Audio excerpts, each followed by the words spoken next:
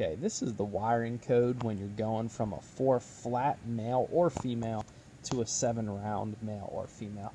Um, a lot of people make adapters because their truck has one or the other and their camper has one or the other, and you'll have to adapt this.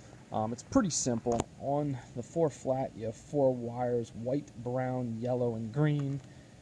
Right there white, brown, yellow, green. And on the seven round, they'll have a piece inside that looks like this. Each prong is labeled, and pretty much there's the conversion. Um, white goes to white, brown actually goes to green, green goes to brown, and yellow goes to red. So that would be this side, that would be this side.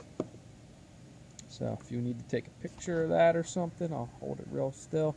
And that should get you working. If your uh, trailer is wired to code and your truck is wired to code, um, that would be the simple